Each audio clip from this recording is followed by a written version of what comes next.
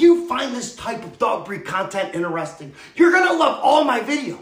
In the 14th century, the Vizsla's hunting abilities caught the eye of the Hungarian nobles. And of course, they started using the Vizsla as their preferred hunting dog. But they also developed the Vizsla as a family dog. But the family dog's population took a hard hit during the Hungarian Civil War, which occurred after World War I. Whenever there's a war, just surviving is challenging. So naturally, a dog is secondary. But the Vizslas were some valued dogs, and the breeders barely brought them back. Rumor has it that there were around 12 remaining.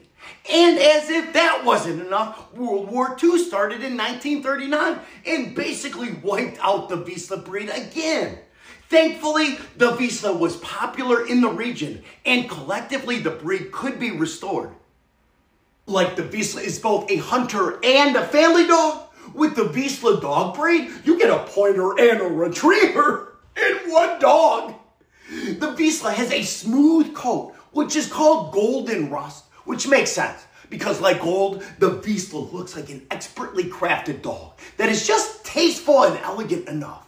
And the coat even sparkles like gold. At 44 to 60 pounds,